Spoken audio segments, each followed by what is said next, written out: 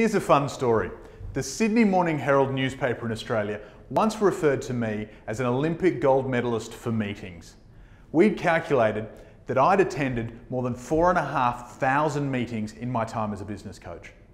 What that means is I've got a good idea of how to make good meetings great and why so many meetings completely fall apart and they become an enormous pain. A lot of businesses blame meetings for the problems that come out of them, which is a bit like blaming a spoon for the reason you keep eating all that ice cream. If you've got the right approach for running your meetings, then they will be run with momentum, with energy, and they will serve their purpose, which is bringing people together to communicate and decide before disseminating you back out into the business to actually execute. Here's a quick overview of this simple approach to running better meetings. Step one, you need to have an agenda. This might be set in advance. It might be something that you go around the group and discuss and agree on that agenda. You need to agree the whole agenda before you can actually start discussing the specific items that are on it.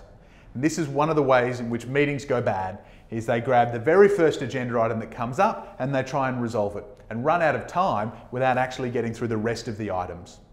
Once you've got all of those agenda items agreed. You need to triage. You need to set the right expectations. How much time have we got? Uh, is there anybody in the room who maybe needs to take a phone call?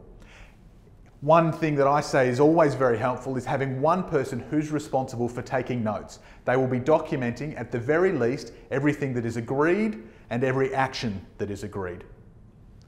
This is the step where you triage that agenda and it's entirely possible that you won't be able to cover everything that is on it. So you need to, like they taught me when I was studying to be a journalist, run an inverted pyramid model where you put the most important things at the top and that way if it gets lopped off, like a newspaper editor might lop off your story, halfway through you've still covered the most important points. I've seen meetings where the agenda and expectation steps can take a majority of the meeting. If that needs to happen, that's perfectly fine because you're better off doing that than having a discussion about the wrong elements. The bulk of the meeting, most meetings, runs through these three steps, a discussion, a solution, and an agreement. To gain momentum, I'd recommend you prioritize two or three simple things at the start of the, uh, uh, of the triage process. They're the first ones you want to discuss, solve, and get agreement on. Crossing those items off the agenda, getting some agreements in the bag, gives you and the team momentum to keep the meeting going. Make sure you allow enough time for those most important, the big meaty items. The ones that are going to require a lot more discussion and maybe a bit more of a controversial solution. It's also okay that your agreement in a meeting is an agreement to disagree or an agreement for a smaller subsection of that group to go away and come up with a proposed solution for the next meeting. You don't need to use everybody's time to come up with solutions that maybe don't require everybody's input. This process will cycle for as much time and agenda items as you have.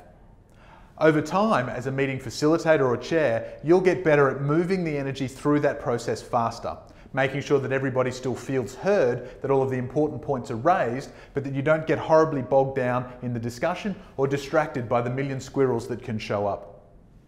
The last item in any meeting is taking the time to confirm the agreements that you've made and the actions that have been agreed. This is why having somebody document this is the most efficient process because at the very end, he or she can run through all of those. Make sure you allow enough time at the end of the meeting to have that conversation because there's no point making a whole heap of agreements that don't actually get communicated and don't get taken into the wider business.